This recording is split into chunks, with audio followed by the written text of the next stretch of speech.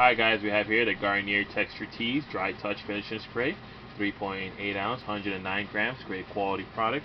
As you can see here, this is the new uh, packaging, but still smells great for those who are interested in the dry, uh, dry finish stronghold spray. So if you're interested in purchasing this or any of the Garnier products, please visit the link in the description below. Please subscribe to the channel. Have a great day.